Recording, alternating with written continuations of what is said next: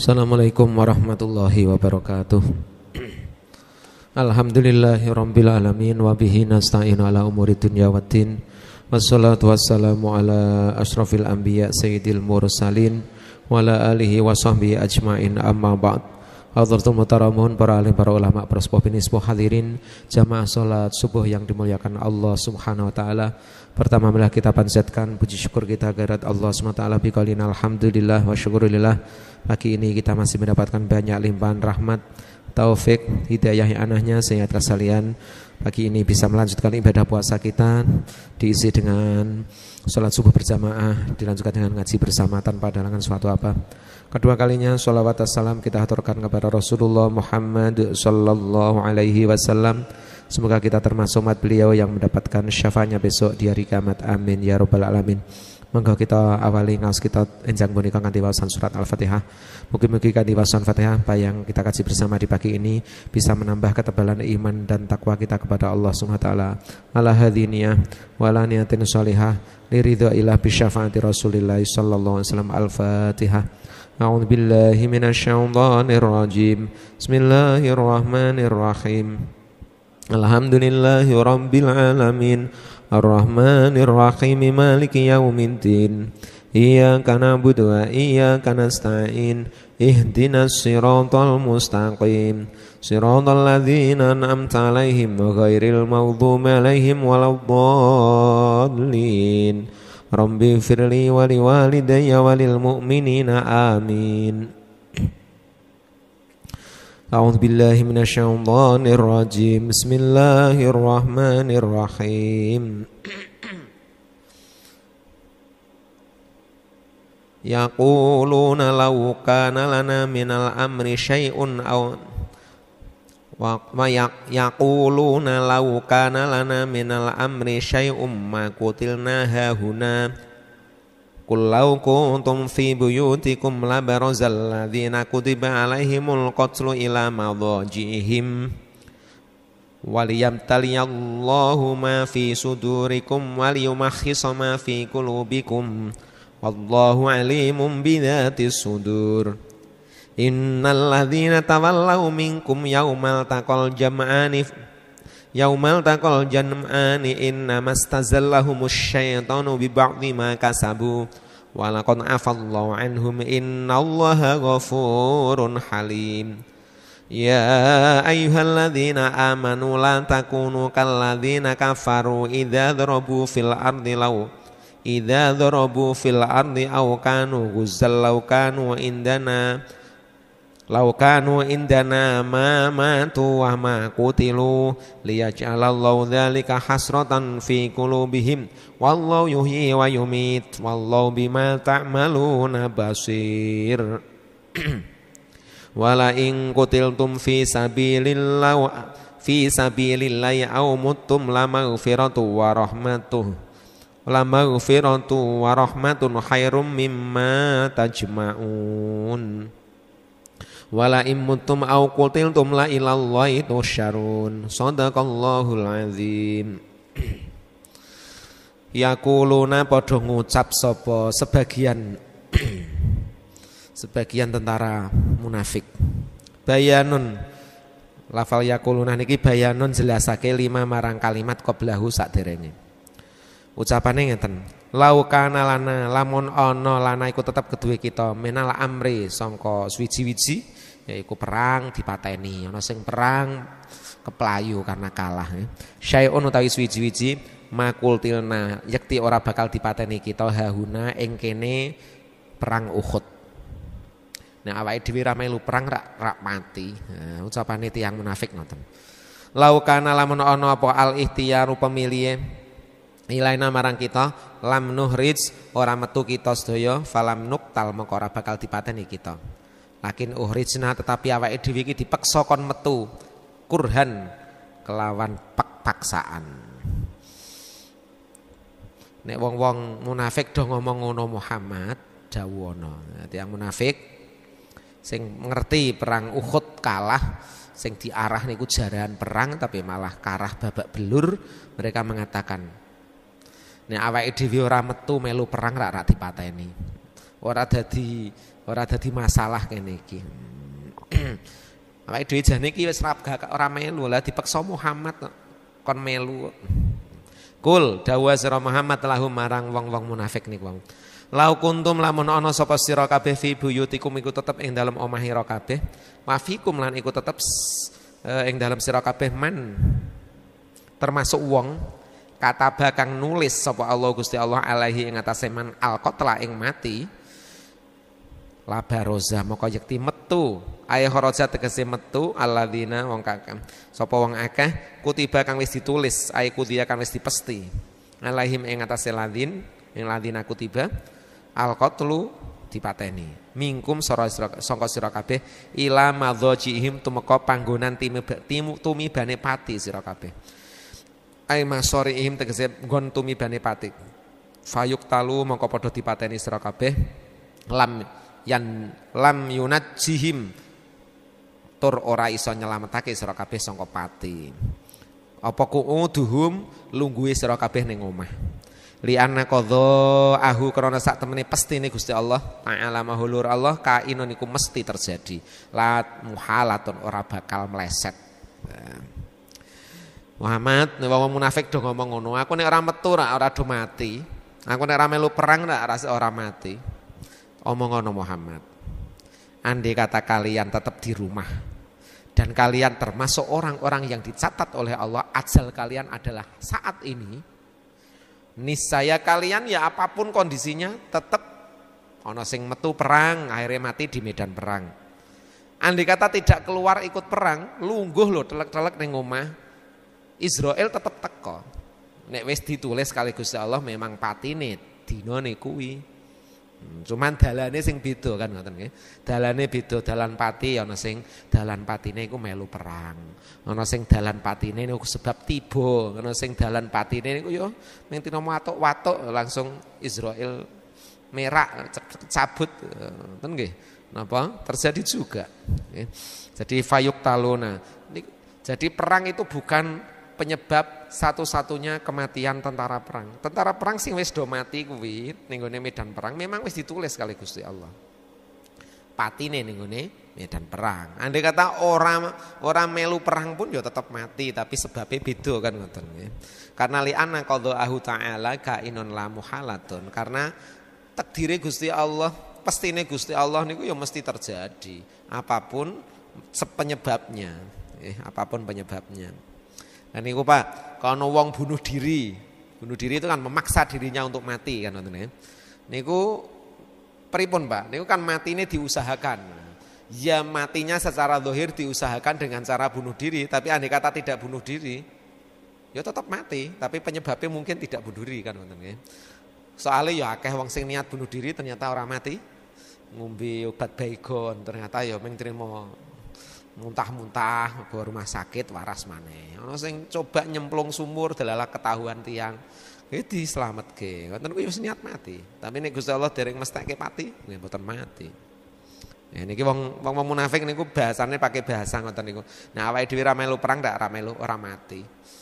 Ora kelah perang. Ya ngoten. Padahal mereka di mana pun kalau Allah sudah memasti bahwasanya maut akan datang pada dirinya jam sekian hari sekian di tempat ini ya tetap mati meskipun ning panggonan palungguhane wong. Wa fa'alalan nglakoni ma ing barang fa'ala kang nglakoni sapa Allah di Uhudin ning perang Uhud. Maka Allah akan melakukan apa yang ia kehendaki eh, sebagaimana yang Allah lakukan terhadap tentara-tentara Uhud untuk apa? Lihat talia karena Gusti Allah niku damel segala sesuatu nggih ada, ada tujuannya. Lihat lihat talia supaya nyoba sapa Allah ayah tabira tegese nyoba Allah sapa Gusti Allah ma ing barang fiku si sudurikum kang tetep ing dalam ati sira kabeh. Gusti Allah hanya ingin mencoba, menguji coba, menyeleksi siapa yang hatinya di dalam hatinya minal ikhlasi ai kulubikum tegese nguji apa sing ning jero atine sira kabeh minal ikhlasi bayan sangka ikhlas wan nifakilan kemunafikan. Itulah nanti yang akan terlihat mana yang munafik, mana yang ikhlas berperang di jalan Allah Subhanahu wa taala. Wali umahi solan krono kanggo misahake, membedakan ayu mayiza tegese bedakake ma ing barang-barang fi kulubikum kang tetep ing dalam ati sira kabeh. Wallahu Gusti Allah alimun iku dat kang udanene bidati sudur kelawan apa wae kang ana ing jero ati sira kabeh. Ai bima tegese kelawan barang fil kol fil kulubi kang tetep ing dalam pira-pira ati. Layah faura bakal samar alahi ing atase Allah syai'un apa suci-wici. Allah tidak akan samar dengan apa pun yang ada dalam hati kalian semuanya. Jadi kalahnya perang di perang Uhud oleh tentara Islam, Allah kepengen melihat membedakan kepengen e, me, melihat, membedakan dan menguji mana hati-hati yang ikhlas dan mana mata hati yang munafik. Mana yang hati mereka ada penyakit nifak dan mana yang di hati mereka benar-benar tulus membela agama Allah Subhanahu wa taala. Karena Allah tidak akan samar dengan apa pun yang ada dalam hati mereka. Wa inna ma yabtalilan angin pestine nyoba sapa Allah liyudhira supaya cetha linasi kanggo manusa ndi sing elek ndi sing apik. Semua ujian, semua yang terjadi dalam diri manusia semuanya adalah untuk memilah, untuk memilih dan untuk membedakan. Okay. Termasuk kematian. Okay. Kematian itu uh, nggih napa? kangge kangge memper ngagi membedakan mana yang benar mana yang salah ya. Alladzi napa nika? Uh, Tabarakalladzi biyadil mulku wa huwa ala kulli syai'in qadir alladzi khalaqal mauta wal hayata liyabtaliyakum ayyukum ahsanu amala. Untuk membedakan di antara kalian mana yang baik dan mana yang buruk. Uh, ahsanu amala. Sing amale apik ketok, sing amale ala ya ketok. Innalladzina satemene wong akeh tawallau kang padha mengu melayu mingkum sangka sira kabeh anil kitali sangka peperangan tentara Uhud sing wonten 300 sing di tugaske Kanjeng Nabi ning ngene bukit Uhud do mlayu. Yaumal takol jam'ane ing dalem nalikane dina tetemune tentara loro. Ai jamul muslimina siji kelompok muslim wa jamul kufari lan nomor loro kelompok kafir. Bi Uhudin nang bukit Uhud. Wahum hale utawi ladina tawallo sing do mlayu mau. Al muslimun iku yo ngaku Islam. Illa isna asyara rajulan kejaba ming kalih tiang kalih welas. Wong 300 sing mlayu 288 sing rolas sing tetep kekeh bantu Kanjeng Nabi eling kalih janjine Kanjeng Nabi nek dheweke diperintah keken tetep ngaman ke ning Bukit Uhud. Kados Abdullah bin Zubair. Ya, niki Abdullah bin Zubair. Terus napa nika paman Hamzah nika. Niku sedaya melayu kecuali tiang kali welas. Mereka yang lari meninggalkan Bukit Uhud niku nggih ngakune Islam. Tapi lali napa sing dados janjine mereka terhadap Rasulullah. Inna mastazallam angin pestine melesetake hum ing ladina tawallo. Ay azallahum tegese melesetake nginggokake niat sapa asyaitonu setan. Mereka mengikuti bisikan setan. Biwaswasatihi kelawan oleh eh, ngreridu kelawan oleh ngreridu setan. Bibak lima kelawan sebagian barang dosa. Bibak lima kelawan sebagian dosa. Kasabu kang padha nglakoni sapa ladina tawallau minadzunubi bayangnya so piro-piro dosa. Wahwa tapi salah satu dosa yang mereka lakukan mukhalafatu amrin Nabi sallallahu alaihi wasallam yaitu nulayani perintah Kanjeng Nabi. Wahai tentara pemanah yang ada 300 awakmu penjaga utama. Awakmu jadi benteng utama kekuatan Islam. Karena kalian dapat posisi yang sangat strategis untuk memantau pergerakan musuh yang ada di bawah. Maka tugas kalian kalau tentara kafir akan merangsak dan mulai memasuki wilayah pertahanan muslim, kalian tugasnya memanah mereka. Dan itu strategi yang sangat-sangat bagus yang sudah disusun oleh Kanjeng Nabi. Ini ini pimpinan perang ini ku panglima perang utama Kanjeng Nabi ini. Niku. Kawitane ya nggih Ternyata mboten kebang nggih. Sing 288 melayu karena ono eh, niki ono kabar huak yang beredar di kalangan mereka. Di antaranya kabar huak itu Muhammad sudah terbunuh, Muhammad sudah terbunuh. Akhirnya do mlayu, ha ngopo meh belani wong dia munafik jelas. Ya. Apa sing dibelani wong Muhammad wis mati. Wonten kabar malih Islam wis menang karena tentara kafir sudah tidak bisa memasuki wilayah eh, pertahanan Islam dan bahkan di antara mereka ada yang sudah mulai mundur. Memang pada saat itu orang-orang kafir sudah mulai mundur, terdesak oleh tentara Islam yang di bawah karena mereka dipantau dari atas sudah sangat-sangat sulit untuk me memasuki wilayah pertahanan Islam, akhirnya mereka mundur. Tapi ternyata mundurnya itu e, bentuk salah satu bentuk strategi perang mereka. Ini awal di mundur, yang di atas kan lengah. Dan mundur itu tidak boleh membawa perbekalan dan e, persenjataan yang masih e, yang menjadi cadangan. Jadi ditinggal kabeh. Jadi seakan-akan ketika dilihat oleh orang Islam, mereka kalah, rampasan perang sudah ditinggal, bisa segera diambil oleh orang-orang Islam. Nah, yang di atas gunung ini memang tiang munafik kabeh, memang sing diarah perang itu buatan kemenangan, tapi sing diarah perang adalah jaran perang. Ini sampun di antara mereka yo awake dhewe ra melu rebutan mengisor kono awake dhewe ra uman, kalah karo tentara sing wis ngisor. Mudun kabeh. Tinggal kalih welas. Akhirnya ternyata tentara kafir yang mundur alon-alon niku wau ternyata mengalih mengambil alih posisi tentara Islam yang di atas gunung mulai turun, tentara kafir naik dari arah sebelah e, di, di perbatasan yang tidak teramati oleh orang-orang Islam. Mereka tahu-tahu sudah menduduki bukit dan 12 orang Islam yang dipimpin oleh Ka'ab Abdullah bin Jubair dipilih oleh Abdullah bin Jubair langsung dihajar habis 12 orang menjadi gugur syuhada di di perang Uhud niku wow.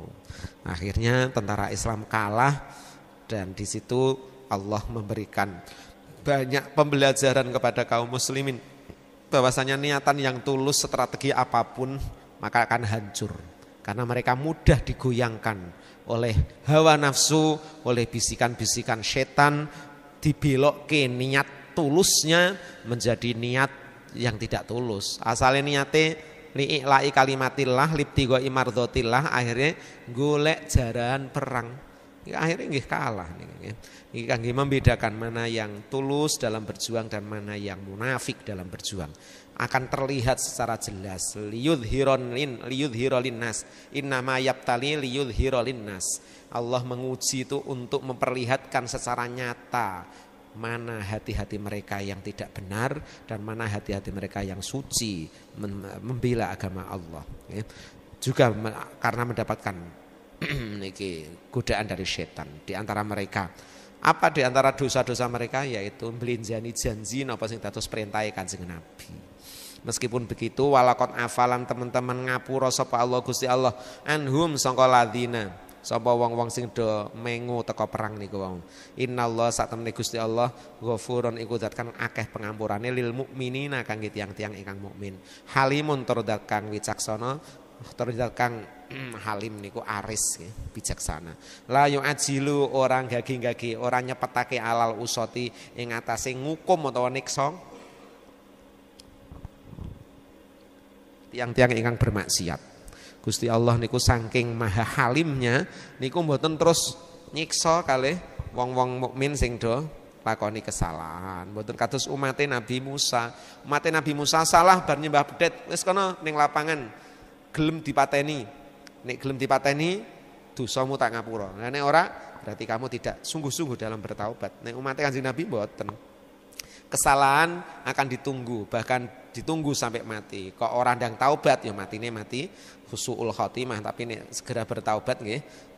Dan niki wong sing wong-wong munafik sing hatinya masih ada keimanan dan hatinya masih merasa bingung susah karena merasa berdosa. Karena mengingkari nopo sing dados perintah Kanjeng Nabi, mereka bertaubat. Bahkan di antara mereka ada yang bertaubat dua orang niku kemudian me niki tangane kali sikile niku kon naleni ning gone cagake Masjid Nabawi. Nek durung di ngapura Kanjeng Nabi secara lafzilah secara secara, secara langsung niki mboten purun medal ke masjid. Dadi wong loro niku tangane ditaleni, sikile taleni kali cagak Masjid Nabawi. niki njaluk ngapura ning gone Kanjeng Nabi. Memang kesalahannya niku fatal kan nggih. Nah, akhirnya terus sampai merasa mereka merasa di bumi ini yang luas ini tidak ada tempat untuknya. Maka mereka bertaubat dan di antara taubat yang diterima nggih taubate sahabat Kanjeng Nabi sing asale nderek mudun melu-melu koncone niki terus di ngapura kalih Kanjeng Nabi. di ayat yang lain dijelaskan secara detail tentang dua orang yang bertaubat tersebut. Wallahu ghafurun innallaha ghafurun halim. Ya ayyuhalladzina wong akeh amanu kang padha iman sapa ladina la takun aja ana sapa sira kabeh kaladina kaya wong akeh kafaru kang padha kafir. Eh wong sing do iman, perilakumu lho aja kaya prilakune wong kafir. Al munafikin tegese wong munafik. Kata al kafar aladina kafaru teng mriki lebih e, fokusnya adalah orang-orang munafik. Wa qalu lan padha ngucap sapa ladina kafaru li ihwalihim marang kanca kancane fi sya'nihim ing dalam kondisi kekalane mereka idza dzarabu nalikane lunga sira kabeh. Ai safaru tegese lunga sira kabeh fil ardi ing dalam bumi famatu mongko padha mati sira kabeh. Au kanu ta ana sapa sira kabeh guzan iku wong kang perang. Kak lafal guzan iku jam ghazin jamae lafal ghazin wong kang perang. Fakutilu mongko padha dipateni sira kabeh laukanu lamun ana sapa sira kabeh indana. Ning gone ngarsa ingsun. Maksude ora lunga-lunga. Mamatu mongko ora bakal mati sira kabeh. Wa makutu lan ora bakal dipateni sira kabeh. Aila takulu aja padha ngucap kakolihim kaya ucapane wong kafir kaya mu kabeh. Dadi wong kafir sering ketika ketemu temannya Nah awakmu dora gelem dora metu ning gone medan perang kan ya ora dipateni to. Awakmu nek gelem telek-telek tengok-tengok ya aku lho aku ora melu perang. Wingi ketika diminta Muhammad kami kukuh dan punya alasan yang tepat, maka kami tidak dipaksa untuk keluar. Kan ramati. Iku kanca muda mati. Soalnya do melu perang. Aja ngono, aja sok eh menapa niki mengingkari napa sing dados keputusane Gusti Allah. Kadang menyesali, kadang merasa napa hmm, ya niku menyesal, menyesal kalih keputusannya. Niku ampun kamu antos ngoten. Lihat ala kerok supaya ake sapa Allah Gusti Allah dalika eman mengkono ucapan ayat alkola tegese ucapan fi akibati amrihim iku mesti ono efek samping dari masalah mereka.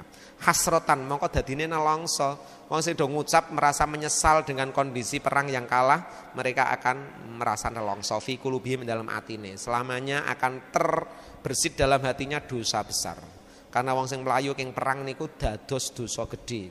Sejajar dengan dosane mateni wong berzina mencuri. Wallahu ta Gusti Allah yuhyi iku dat kang uripi wa yumitu dat kang mateni. Fala yamna'u maka ora ana perkara kang nyegah iku maujud anil mauti saka kematian kuudun apa tenguk-tenguke wong ning omah. Jadi tidak ada yang bisa menghalangi maut meskipun mereka duduk-duduk santai di rumah. Kalau Allah berkehendak untuk mati, untuk eh, untuk mematikan mereka, ya tetap mati.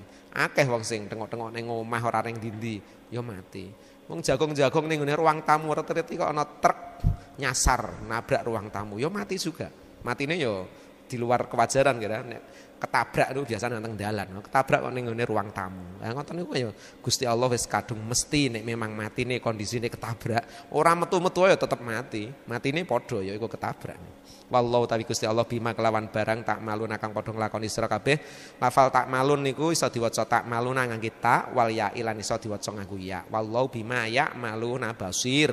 Basirun iku zat kang bakal bales kabeh kang dadi uh, pekerjaane wong. Fayujazikum mongko bakal bales sapa Gusti Allah kum isra kabeh bihi kelawan ma, kelawan perkara kang dilakoni. Pun dugi mriki mawon insyaallah misang kita lajengake. Inti dari tik dua ayat yang kita baca di pagi hari ini adalah untuk menguatkan tauhid kita bahwasanya keputusan Allah apa pun kondisinya, apa pun ikhtiar kita, yang namanya takdir Allah tidak bakal bisa dikalahkan ya, al-hikam pun e, sampai ke usaha sekuat tenaga apa pun, ilmu sehebat apa pun, planning secanggih apa pun, tidak bakalan bisa mengalahkan takdir Allah. Niki kudu ditanamkan dalam keyakinan dan dalam keimanan kita. Nek mboten mangke panjenengan sering nyalah wong, sering mencari kambing hitam, sering kecewa, sering menjadikan orang lain menjadi e, sasaran empuk kemarahan panjenengan. Karena napa? Boten percaya kali takdir Allah. Nah, maka dari itu kita menguatkan diri kita sampai mau dijelas kali Gusti Allah. Lungguh ning omah lho nek memang Gusti Allah mesti mati, tetap mati. Orang kudu perang, orang kudu kerja adoh. Salahe melu kerja sing resiko tinggi ya, mboten masalah itu. Banyak orang yang bekerja di resiko tinggi tapi kematiannya bukan di situ. Ya banyak gitu. Nah, wong-wong sudah kerja penean-penean adoh-adoh penean dhuwur-dhuwur niku di gedung-gedung tinggi niku panjenengan bayangkan resiko tinggi banget kira. Meleset sithik ya mati kan wonten Tapi Gusti Allah niku memiliki rencana yang tidak seperti bayangan manusia. Semua orang bisa dalam kondisi apa pun meninggal dunia. Ini kangge soalnya wong-wong kafir, wong-wong munafik do nyalahno. Salah do melu perang, maka do mati. Ngoten niku lho sing boten kenging. Dosa niku jenenge man lam yardha bi illah falyatub robban siwahu. Barang siapa yang tidak mau menerima qadha Gusti Allah, carilah Tuhan selainku kan benar. Kata Allah dalam hadis kutsinya. Maka jangan sampai ini terjadi dalam diri kita. Mungkin penjenengan boten perang, tapi kok sering kadang nyalahno bocah, nyalahno anak. Tiba kan dari wong tua orang ngandel mulane tiba. Lah ngoten niku sing sing kaya ucapane wong kafir. Mboten asal, nggih, mboten asal. Nggih, juga tiba bocah ki wis dalam kondisi susah, dalam kondisi sedih, ya ora usah ditambah-tambahi sedih, ya disalah-salahke. Karena itu akan menjadikan eh, rusaknya iman kita bahasa-bahasa yang sering kita ucapkan ternyata salah dalam melasfal apa dalam mensikapinya. Itu yang menyebabkan kita kadang niku mboten legowo nompo ingkang dados kepastian Gusti Allah. Maka jadilah orang yang legowo. Kalih kepastiannya Allah kita terima dengan ikhlas, kita sabar, kita senantiasa bersyukur dan senantiasa ber prasangka baik husnudzon kali Gusti Allah. Insya Allah panjenengan imane tambah kuat, ning imane tambah kuat sedaya kehidupan panjenengan pasti barokah. Amin ya robbal alamin. Demikian mungkin bisa kami sampaikan kurang lebih mohon maaf. Wallahul muwafiq ila kami tarik. Assalamualaikum warahmatullahi wabarakatuh.